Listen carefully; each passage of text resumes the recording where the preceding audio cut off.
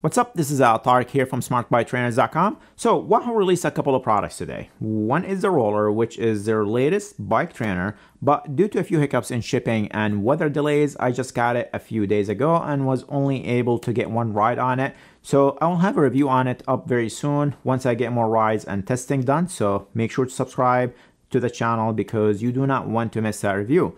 But let's talk about the other big product from Wahoo and that is the all new Speedplay Power Meter pedals, the POWRLINK Zero.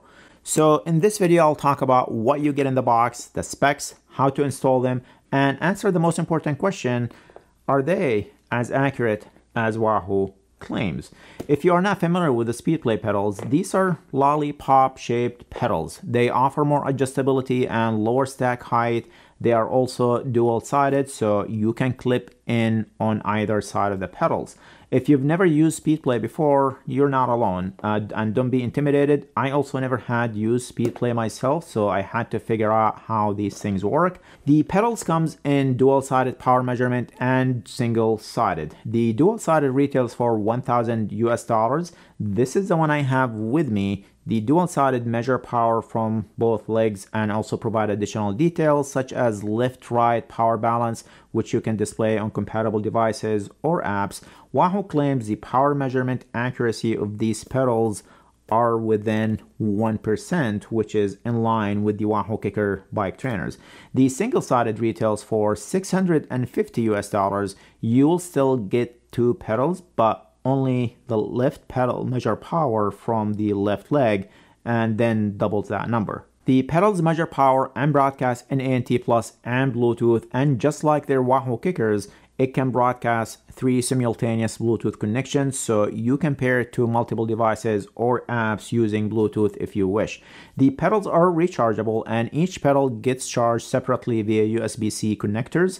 You will get 75 hours of use out of a single charge and this is the same uh, for the single-sided version except you just charge the one pedal. You'll see the pod where all the electronics are housed blink green as they charge and solid when they are fully charged. The pedals comes in this small box, pretty neatly packaged. Inside the box you will find the pedals, tension cleats, washers, spacers, and charging cables with charging clips.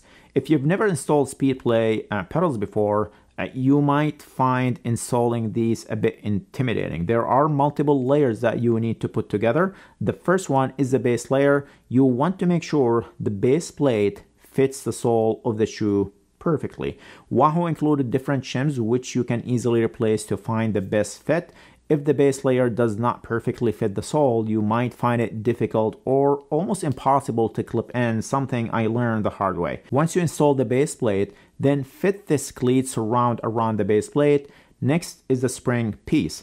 The open side should be facing inward. Screw the assembly to the base plate using the small screws included and you want to screw them using an X pattern before tightening the screws. You can adjust the desired left right position then tighten the screws not too tight the recommended torque is two and a half. These screws on the side are the limit screws to control the float or heel movement. You can make adjustment to the screws to set the desired float. Personally, I like to have very little float, but I recommend to test it out to make sure you have the desired float set before adding the cleat cover so you can go and ride and see if you have the correct float. Then once you get it to where you like, you can add the final piece, which is the cleat cover. And that is it. You should now be able to go and clip in and start riding. There is no left right label on the pedals, by the way. Instead, you will see the Wahoo logo and it should read left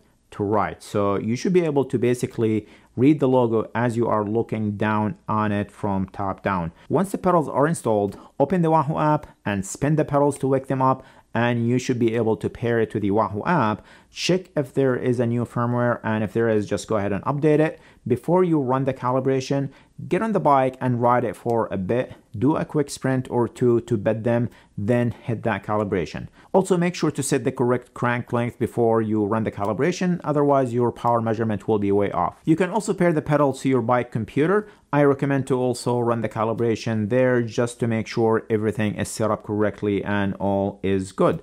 POWRLINK Zero pedals have auto calibration. The pedals automatically detect when no force is applied and triggers the zero offset calibration function. The bike has to be upright and stationary, which POWRLINK uh, Zero detects from the accelerometer and gyroscope measurement. If these requirements are not met, POWRLINK Zero will discard the result and look for the next opportunity to calibrate.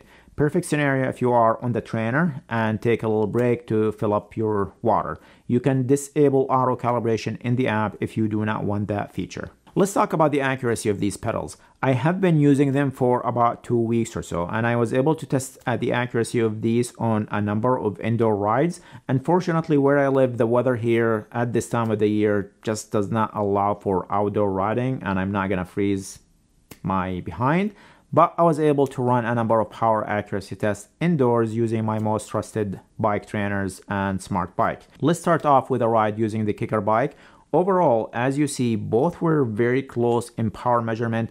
The KICKR bike was measuring a tiny bit higher in some sections. The POWRLINK pedals were measuring a tiny bit higher on other sections. But overall, I would say both were very close.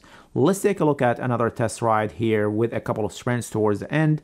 All three power meters were very close. The POWRLINK averaged 3 watts higher than the KICKR, which is expected from a pedal-based power meter. On the sprint section, the Wahoo KICKR overshot by a little bit here, but the POWRLINK was moving along with my crank-based power meter, so I'm trusting the crank-based um, on POWRLINK here.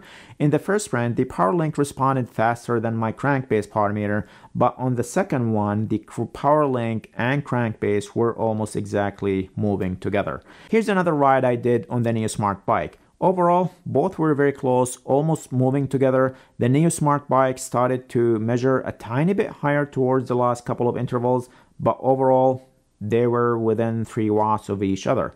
Finally, let's take a look at this 15 by 1 minute workout I did. Again, the power was almost exact between the Wahoo KICKR 5 and POWRLINK pedals during each one minute interval.